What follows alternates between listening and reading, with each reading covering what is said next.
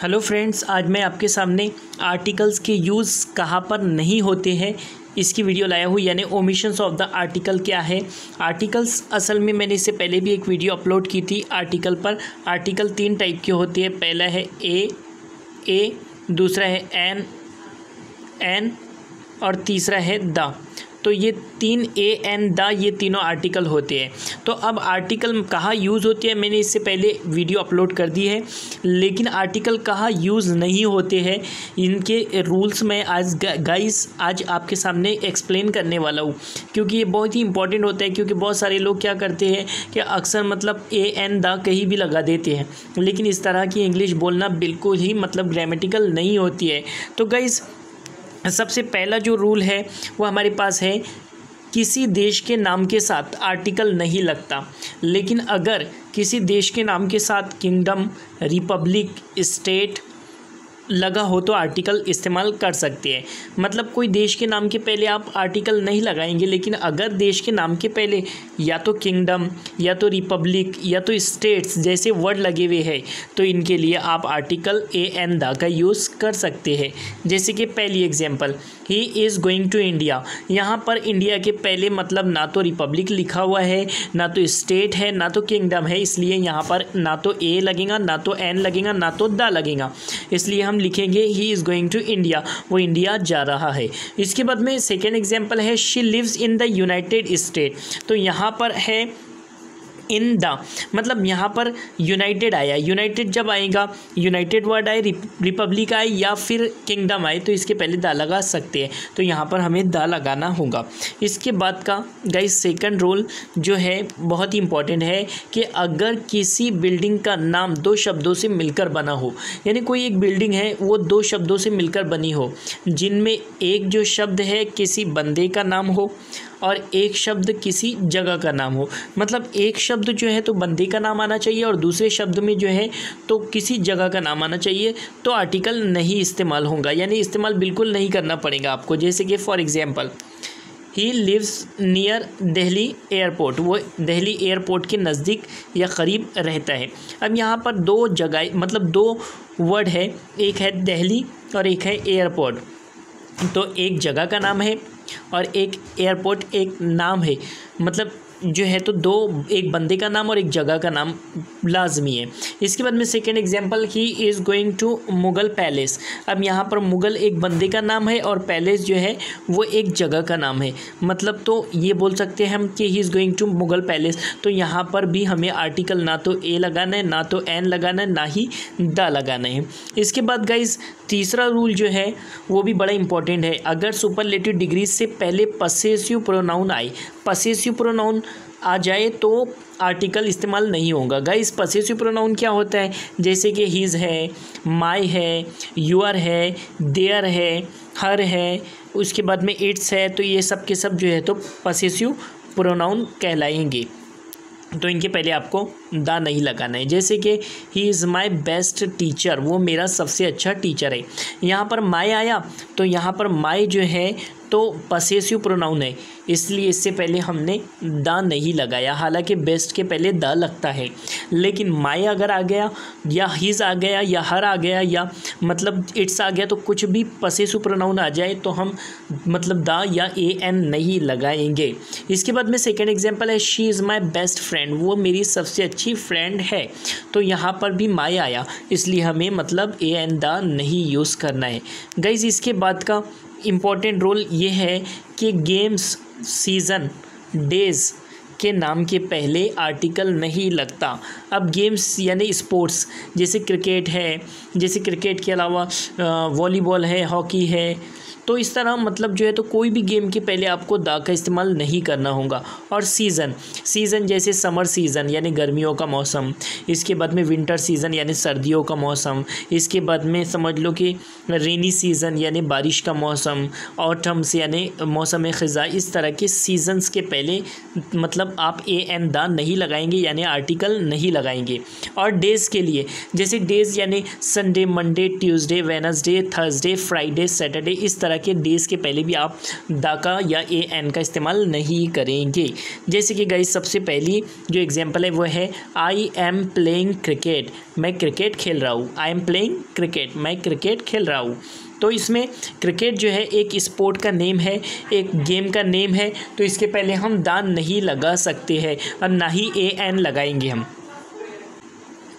इसके बाद गाइज़ हमारे पास में सेकेंड एग्ज़ाम्पल है she will come on Monday तो यहाँ पर मंडे के पहले भी आपको दा नहीं लगाना है, ए नहीं लगाना है, एन नहीं लगाना है. इस तरह आर्टिकल का इस्तेमाल नहीं होगा, क्योंकि मंडे संडे ट्यूसडे वेनसडे इस तरह डेज़ के पहले आपको दा या ए, एन नहीं लगाना है. इसके बाद में थर्ड एग्ज़ाम्पल है he is coming in summer वो समर में आ रहा है. समर बोले तो एक मौसम का नाम है तो ये मतलब जो है तो सीजन्स के नाम के पहले भी आपको द का इस्तेमाल या ए, एन का इस्तेमाल नहीं कर करना है। इसके बाद में गाइस जो रूल है हमारा, पांचवा, वो है कि अगर किसी शॉप मतलब शॉप बैंक बिल्डिंग चर्च के नाम के साथ या बंदे का नाम जुड़ा हो, यानी कोई शॉप है, बैंक है, बिल्डिंग है, चर्च है, इनके साथ कोई भी बंदे का नाम जुड़ा है, जिस, जिसने उसे शुरू किया हो तो आर्टिकल इस्तेमाल नहीं होगा। यानी आपको कंडीशन देखना है गाइज़ कि ये बोलते हैं कि आपको शॉप के नाम के पहले बैंक के नाम के पहले बिल्डिंग के नाम के पहले चर्च के नाम के पहले किसी भी बंदे का नाम अगर जुड़ा हुआ है तो जिसने उसे शुरू किया हो तो आर्टिकल इस्तेमाल नहीं किया जाएगा। जैसे कि पहली एग्जांपल मैकडोनल्ड। मैकडोनल्ड असल में एक एक मैक जो है, एक बंदे का नाम है, डोनल्ड जो है तो एक कंपनी का नाम है तो इसलिए यहाँ पर आर्टिकल नहीं होगा। इसके बाद में है रेमंड शॉप। तो रेमंड शॉप में भी आप ए एन दा नहीं लगाएँगे। इसके बाद में है सेंट जॉन, जॉन्स चर्च। यहाँ पर भी आप ए एन दा नहीं लगाएँगे। इसके बाद में गाइज़ है पांचवा छठा रूल के नाउन प्लस नंबर यानी जब हम नाउन लेंगे और प्लस नंबर लेंगे तो नंबर और नाउन के साथ आर्टिकल नहीं आएगा। यानी जब भी नाउन के साथ नाउन बोले तो गाइज़ होता है नाम। अब नाम जो है तो वो क्या होता है? प्रॉपर नाउन है कॉमन नाउन है मटेरियल नाउन है एब्स्ट्रैक्ट नाउन है, इस तरह से नाम नाम होता है। नाम प्लस नंबर जब भी आएगा तो आर्टिकल इस्तेमाल नहीं होगा। जैसे कि हमारे पास में सबसे पहले गाइस पहली एग्जांपल है he is coming at platform number five he is coming at platform number five यहाँ प्लेटफॉर्म आया और इसके बाद में प्लेटफॉर्म नंबर आया और फाइव आया। तो फाइव एक नंबर है, जबकि प्लेटफॉर्म नंबर जो है, वो एक नाउन है। यानी किसी जगह का नाम है तो तब हमें ए एन द नहीं लगाना है। सेकेंड एग्ज़ाम्पल है she needs shoes in seven size उसे शूज़ की ज़रूरत है सात सात साइज़ की मतलब अंदर। यानी सात की साइज़ में उसे शूज़ की ज़रूरत है। इस तरह हम बोल सकते हैं। तो गाइज़ इसमें यहाँ पर साइज़ जो है एक नाउन है, और उसके बाद में सेवन जो है तो एक नंबर है। इससे पहले भी आप ए एन द नहीं लगाएँगे। इसके बाद का सेवंथ रूल है कि प्लूरल नाउन के पहले आर्टिकल नहीं लगता है। अगर ये किसी ग्रुप को बताए तो। यानी प्लूरल नाउन बोले तो मतलब ऐसा नाउन जो जमा हो। मतलब सारी चीज़ों की जमा या मतलब किसी ऑब्जेक्ट्स की जमा, उसे हम प्लूरल नाउन बोलेंगे। तो प्लूरल नाउन के पहले आर्टिकल नहीं लगता है। अगर वो किसी ग्रुप को या फिर किसी ग्रुप को मतलब डिनोट करे, बताए तो। जैसे कि पहली एग्ज़ाम्पल है doctors are paid more than teachers doctors को ज़्यादा पेड किया जाता है बनस्बत टीचर्स के। मतलब ये है कि यहाँ डॉक्टर जो है प्लूरल नाउन है। डॉक्टर नहीं, बल्कि डॉक्टर्स है। और टीचर नहीं, बल्कि टीचर्स है। यहाँ पर एक डॉक्टर की बात नहीं चल रही, बल्कि पूरी कम्युनिटी की बात चल रही है। और यहाँ पर एक टीचर की नहीं, बल्कि पूरी टीचर कम्युनिटी की बात चल रही है। इसलिए यहाँ पर हमें ए एन द नहीं लगाना होगा। इसके बाद में सेकेंड एग्ज़ाम्पल है पुअर आर ऑनेस्ट गरीब जो होती है, वो ऑनेस्ट होती है, यानी ईमानदार होती है। यहाँ पुअर जो है, एक किसी गरीब पर्टिकुलर पर्टिकुलर गरीब की बात नहीं चल रही, बल्कि पूरे ग्रुप की बात चल रही तो इसलिए यहाँ पर भी हमें ए एन द नहीं लगाना होगा। इसके बाद में गाइज़ नेक्स्ट रूल है कि काइंड ऑफ़ के बाद आर्टिकल नहीं लगता है। यानी जब भी काइंड ऑफ़ आ जाए तो हमें आर्टिकल नहीं लगाना है। जैसे कि पहली एग्जांपल है she is she is good kind of girl she is good kind of girl जैसे कि बहुत सारे बंदे बोलते हैं she is a good kind of girl तो ये गलत होगा। इसलिए हमें काइंड ऑफ़ गर्ल लेना है, यानी इसमें जो है तो ना तो ए लगाना है, ना तो एन लगाना है, ना तो दा लगाना है। इसके बाद में सेकंड है कि he is good kind of boy वो एक अच्छे किस्म का लड़का है। तो यहाँ पर भी हमें ए एन दा नहीं लगाना होगा। इसके बाद का हमारे पास में नौवा रूल है, टेलीविज़न से पहले आर्टिकल नहीं लगता है। लेकिन रेडियो से पहले आर्टिकल का इस्तेमाल किया जाता है। यानी टेलीविज़न के पहले आप आर्टिकल नहीं लगाएँगे। जैसे कि पहली example I watch cricket on television मैं टेलीविज़न पर क्रिकेट देखता हूँ। जैसे कि सेकेंड एग्ज़ाम्पल यहाँ पर टेलीविज़न जो आया तो इसके पहले हमने ए एन द नहीं लगाई। इसके बाद में सेकेंड एग्ज़ाम्पल में बोलता है कि ही हेयर दिस न्यूज़ उसने ये न्यूज़ सुनी ऑन द रेडियो यानी रेडियो के ऊपर। तो हमने रेडियो के पहले द लगाया, ये आर्टिकल का इस्तेमाल हुआ। इसके बाद में दसवा रूल गाइस बोलता है कि खाने के नाम से पहले आर्टिकल नहीं लगता है। यानी जब भी कोई खाने का नाम आए तो तब हम आर्टिकल इस्तेमाल नहीं करेंगे।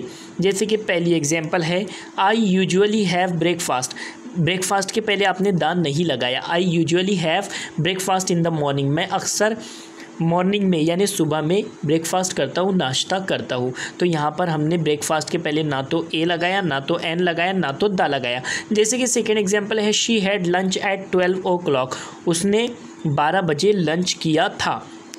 तो इससे पहले ना तो लंच के पहले हमने ए एन दा लगाया, ना तो ब्रेकफास्ट के पहले। इसके बाद में गाइस है कि अगर खाने के नाम से पहले एडजेक्टिव आ जाए तो आर्टिकल लगता है। यानी खाने के नाम के पहले एडजेक्टिव आना ज़रूरी है। एडजेक्टिव क्या होता है? खाने की सिफत बताने के लिए। जैसे कि पहली एग्जांपल है she prepared a nice dish she prepared a nice dish तो यहाँ पर नाइस आ गया। और नाइस एक एडजेक्टिव है। नाइस यानी उम्दा अच्छा बहुत बढ़िया। तो इस तरह से हम उसके पहले ए लगाएँगे या एन लगाएँगे या द लगाएँगे। इसके बाद में सेकेंड एग्ज़ाम्पल है। This is a fantastic lunch ये बहुत ही फैंटेस्टिक लंच है। तो यहाँ पर भी हमने ए लगाया। तो ए एन द हम लगा सकते हैं। अगर मतलब खाने के नाम के पहले जो है कोई एडजेक्टिव आ जाए तो एडजेक्टिव का मतलब होता है जब किसी चीज़ की सिफत या अच्छाई या ख़राबी बताई जाए तो। गाइज़ इसके बाद का रूल है हमारा बारवा, कि सब्जेक्ट के नाम के साथ आर्टिकल नहीं लगता है। यानी कोई भी सब्जेक्ट आए, जैसे कि हिंदी है, मराठी है इंग्लिश है, उर्दू है तो इस तरह से कोई भी सब्जेक्ट के लिए हम मतलब दान, द या ए एन नहीं लगाएँगे। पहली example I like English subject very much मैं इंग्लिश सब्जेक्ट बहुत पसंद करता हूँ। Second example she is studying mathematics वो मैथमेटिक्स की पढ़ाई कर रही है। इसके बाद में गाइज़ तेरवा रूल है, भाषा और रंग के नाम के साथ आर्टिकल नहीं लगता है। यानी किसी भी भाषा का ज़िक्र हो तो तब हम आर्टिकल ए एन दा नहीं लगाएँगे और किसी रंग का नाम आए। जैसे कि कोई कलर का नेम है ब्लू है पिंक है येलो है तो इसके पहले भी हम ए एन दा नहीं लगाएँगे। पहली एग्जांपल है आई कैन स्पीक मराठी। मैं मराठी बोल सकता हूँ। I can speak Marathi. मैं मराठी तो गाइज़ हमें किसी भी भाषा के पहले या फिर मतलब जो है तो रंग के नाम के पहले ए एन द नहीं लगाना है। पहली एग्जांपल हमारे पास में है आई कैन स्पीक मराठी। मैं मराठी बोल सकता हूँ। यहाँ मराठी एक भाषा है। इसके पहले हमें ए एन दा नहीं लगाना है। सेकेंड एग्ज़ाम्पल है शी लाइक्स ब्लू कलर वो ब्लू कलर पसंद करती है। तो यहाँ पर ब्लू एक कलर का नाम है। इसके पहले भी आपको ए एन दा नहीं लगाना है। इसके बाद का रूल है गाइस कि अगर रंग का नाम एडजेक्टिव की तरह काउंटेबल नाउन के साथ आए तो। काउंटेबल नाउन मतलब ऐसा नाउन जिसे हम गिन सकते हैं, ऐसा नाम जिसे हम गिन सकते हैं। तो उसके साथ आ जाए तो आर्टिकल इस्तेमाल होगा। यानी अभी मैंने बताया था कि आर्टिकल कलर्स के नेम के पहले नहीं लगता है, लेकिन यहाँ पर कंडीशंस क्या है कि एडजेक्टिव की तरह और काउंटेबल नाउन के साथ आए तो तो तब हम क्या करेंगे? मतलब आर्टिकल ए एन द लगा सकते हैं। जैसे कि पहली example I have a pink T shirt मेरे पास एक पिंक टी शर्ट है।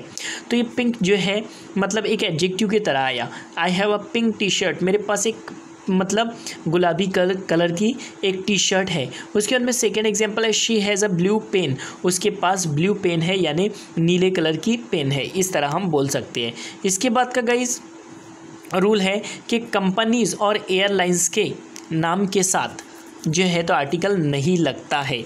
जैसे कि पहली एग्जांपल आई केम हेयर मैं यहाँ आया by Indian Airlines Indian Airlines के ज़रिए, या इंडियन एयरलाइंस से इस तरह बोल सकते हैं। Second example Airtel is the best company तो एयरटेल से पहले हमने ए एन द नहीं लगाया और इंडियन एयरलाइन से पहले भी हमने ए एन द नहीं लगाया। इस तरह हम बोल सकते हैं। इसके बाद का रूल है कि बीमारियों के नाम से पहले आर्टिकल नहीं लगता है। अब पहली एग्जांपल ही हैज़ फीवर उसे बुखार है। फीवर का मतलब होता है बुखार। तो हमने फीवर के पहले ए एन द नहीं लगाया। सेकेंड एग्ज़ाम्पल है ही डेड ऑफ़ कैंसर वो कैंसर से मर गया। तो कैंसर एक बीमारी है, इसलिए हमने इससे पहले भी ए एन द नहीं लगाया। अब इसके बाद का रूल है कि अगर बीमारियों के नाम प्ल्यूरल हो प्ल्यूरल मतलब जमा हो तो तब हम आर्टिकल लगा सकते हैं। मतलब पहली एग्जांपल है ही हैज़ मीज़ल उसे मीज़ल्स है। तो यहाँ पर मीज़ल्स है। मीज़ल्स एक जमा है, यानी प्ल्यूरल फॉर्म है। इसलिए हम यहाँ पर यहाँ पर ए लगा सकते हैं। ही हैज़ अ मीज़ल्स उसे मीज़ल्स है। इस तरह बोल सकते हैं। इसके बाद अठारहवा रूल है कि अगर appoint made declare elect nominate के बाद नाउन आ जाए। नाउन मतलब नाम आ जाए तो आर्टिकल नहीं लगेगा। जैसे कि पहली example he was elected elect जो है तो एक मतलब ऐसा वर्ड है जो मैंने बताया अभी। तो इलेक्ट के बाद जो है तो एमपी एमपी मतलब मेंबर ऑफ़ पार्लियामेंट तो एक नाउन आ गया। तो इसलिए हम ए एन था नहीं लगाएँगे। He was elected as M P उसे एम पी के तौर पर चुन लिया गया है। और सेकेंड एग्ज़ाम्पल है ही वॉज़ डिक्लेयर्ड उसे डिक्लेयर्ड किया गया है कीपर ऑफ़ द टीम यानी टीम का कीपर डिक्लेयर किया गया है। थर्ड एग्ज़ाम्पल है he was appointed head master उसे हेड मास्टर के तौर पर अपॉइंट किया गया है। यहाँ अपॉइंट एक वर्ड है, जो मैंने बताया डिक्लेयर भी एक वर्ड है, जो मैंने बताया, और इलेक्ट भी एक वर्ड है, जो मैंने बताया, और इन सब के बाद नाउन आया, इसलिए हम ए एन द नहीं लगाएँगे। इसके बाद का गाइज़ रूल है उन्नीसवा। कि ये बोलते हैं, अगर दो अलग अलग एडजेक्टिव एक ही काउंटेबल नाउन के बताने के लिए हो तो पहले वाले एडजेक्टिव के साथ आर्टिकल आएगा। मतलब दो एडजेक्टिव है, और अलग अलग मतलब जो है तो दो एडजेक्टिव है, और काउंटेबल नाउन को बताने के लिए यूज़ हो रहे हैं। एक ही काउंटेबल नाउन को। तो तब हम जो है तो मतलब आर्टिकल पहले वाले के साथ आर्टिकल लगाएँगे। जैसे कि पहली example this is an English this is an English मैंने एन लगाया यहाँ। इंग्लिश एन उर्दू डिक्शनरी, यानी यहाँ डिक्शनरी को बताने के लिए डिक्शनरी की जो खासियत है, वो उर्दू और इंग्लिश वाली है। तो यहाँ पर दोनों की सिफतें बताने के लिए मैंने इंग्लिश के पहले एन लगा दिया, यानी पहले वाले एडजेक्टिव के पहले मुझे क्या लगाना पड़ा? एन लगाना पड़ा। तो this is an English and Urdu dictionary ये इंग्लिश और उर्दू डिक्शनरी है। सेकेंड एग्ज़ाम्पल है that is Marathi and English learning book वो मराठी और इंग्लिश की लर्निंग बुक है। तो यहाँ पर दो ए, एक मराठी और एक इंग्लिश मतलब लर्निंग बुक को डिफ़ाइन कर रहे हैं इसलिए मैंने मराठी से पहले यानी पहले एडजेक्टिव से पहले ए लगा दिया नाउन से पहले ए लगा दिया। इसके बाद में गाइस अब अब इसके बाद का रूल है हमारे पास में कि स्कूल्स कॉलेज यूनिवर्सिटी उसके बाद में कोर्ट हॉस्पिटल मार्केट अगर आप यहाँ जाते हैं उसी काम के लिए जिसके लिए बनाई गई है। तो आर्टिकल नहीं लगेगा। मतलब स्कूल में अगर आप तालीम हासिल करने के लिए जाते हैं तो आर्टिकल नहीं लगेगा। कॉलेज में अगर आप पढ़ाई करने के लिए, तालीम हासिल करने के लिए या यूनिवर्सिटी में आप किसी एजुकेशन के मकसद से जाते हैं तो आर्टिकल नहीं लगेगा। कोर्ट में अगर आप किसी सुनवाई के रीज़न से जाते हैं तो भी आर्टिकल नहीं लगेगा। हॉस्पिटल में अगर आप ट्रीटमेंट के लिए जाते हैं तो भी आर्टिकल नहीं लगेगा। मार्केट में अगर आप शॉपिंग के लिए जाते हैं तो भी आर्टिकल नहीं लगेगा। जैसे कि पहली एग्जांपल है I go to college daily मैं डेली कॉलेज जाता हूँ. सेकंड एग्जांपल है she is going to hospital वो हॉस्पिटल जा रही है. उसके बाद में थर्ड से एग्जांपल है कि let's go to market for shopping आओ हम मार्केट जाए काय के लिए? शॉपिंग के लिए. तो यहाँ पर कॉलेज के पहले ए एन दा नहीं लगा. हॉस्पिटल के पहले भी ए एन दा नहीं लगा. और मतलब मार्केट के पहले भी ए एन दा नहीं लगा. क्योंकि मैं यहाँ पर बता रहा हूँ कि I go to college daily मैं डेली कॉलेज जाता हूँ तो ये काम मेरा मतलब कॉलेज पढ़ाई के लिए है। सेकेंड एग्ज़ाम्पल है she is going to hospital वो हॉस्पिटल जा रही है। तो यहाँ पर पर्टिकुलर उसका मकसद हॉस्पिटल के लिए है। और थर्ड एग्ज़ाम्पल है let's go to for market for shopping shopping के लिए हम मार्केट जाए। तो मतलब यहाँ पर भी जो है तो मार्केट हम इसलिए जा रहे हैं क्योंकि शॉपिंग करना है। तो ये पर्टिकुलर उसी रीज़न से है। इसके बाद का रूल है school college university court hospital market अगर आप यहाँ जाते हैं किसी और काम के लिए। मतलब अब यहाँ पर वो काम के लिए नहीं, बल्कि दूसरे काम के लिए जाते हैं। तो तब आर्टिकल लगेगा। जैसे कि पहली example I will wait for you मैं आपका वेट करूँगा नियर द हॉस्पिटल मैं हॉस्पिटल के पास आपका इंतज़ार करूँगा। तो यहाँ पर मैंने हॉस्पिटल के पहले द लगाया क्यों? क्योंकि यहाँ पर बताया जा रहा है कि मतलब हॉस्पिटल में मैं हॉस्पिटल के लिए नहीं जा रहा हूँ मतलब ट्रीटमेंट के लिए नहीं जा रहा हूँ, बल्कि इंतज़ार करने के लिए। सेकेंड एग्ज़ाम्पल है the university is near my house the university the university लगाया मैंने क्योंकि मैं बता रहा हूँ कि यूनिवर्सिटी जो है वो मेरे घर के नज़दीक है या करीब है। तो यहाँ पर भी यूनिवर्सिटी का मतलब जो है तो काम जो है तो पढ़ाई के लिए नहीं बल्कि एजुकेशन के लिए नहीं, बल्कि एक मकसद बताया जा रहा है कि भाई मेरे घर के पास है। तो गाइज़ इसके बाद का रूल है हमारा कि प्रॉपर नाउन से पहले आर्टिकल नहीं लगता है। जैसे कि Mumbai is a good city Mumbai एक अच्छी सिटी है। गाइज़ अगर आपको ये मेरी वीडियो अच्छी लगी तो कमेंट बॉक्स में ज़रूर